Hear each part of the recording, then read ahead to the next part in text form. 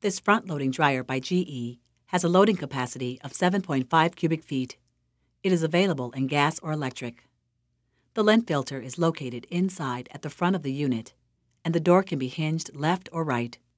It has 13 preset dry cycles. As you select different cycles, you'll notice the estimated time, temperature, and dryness level will change. This is to ensure optimum results for each selection.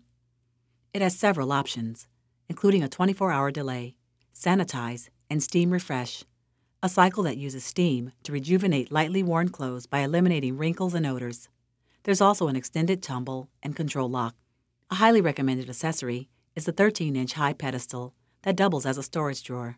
This raises your dryer to a comfortable loading height if it's not being stacked.